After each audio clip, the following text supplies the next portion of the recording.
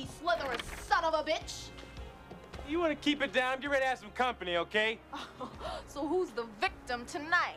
Hey, Yvonne, I don't feel like playing with you, okay? Stop. Why don't you just tell her the truth? Tell her you're gonna use her, then you're gonna dump her like you did me. Excuse me. Excuse me, I did not dump you. We went out, it was whack, and it was your fault, and I wish. Look, why don't you get over it and go find another man, huh? Get out of here. I hope you catch a disease and dick falls off. Oh, well, I would expect you to say something crass like that. Uh, Don't forget I have the court order for you to stay. We ain't even supposed to be that close to the gate. I'm gonna call your probation officer. Court order!